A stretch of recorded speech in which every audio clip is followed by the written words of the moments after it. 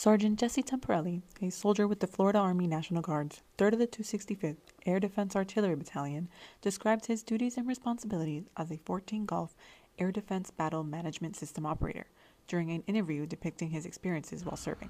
Hi, my name is Sergeant Jesse Michael Temperilli. I am part of Charlie Battery, the 3265th, out of Palmetto, Florida, and my job title is Air Defense Battle Management System Operator, which is a 14 Golf.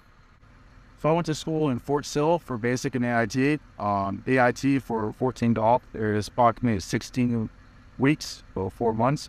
Uh, we did a lot of hands-on training on the systems, generators, shelters, and radar. Uh, we did do a three-day FTX in the field, which was a simulation of all our hands-on training in the classroom. And we all used our knowledge and training to push forward and execute provision. With any day of the 14 golf, we go over our radar, LMTV, um, setting it up, march order and placement.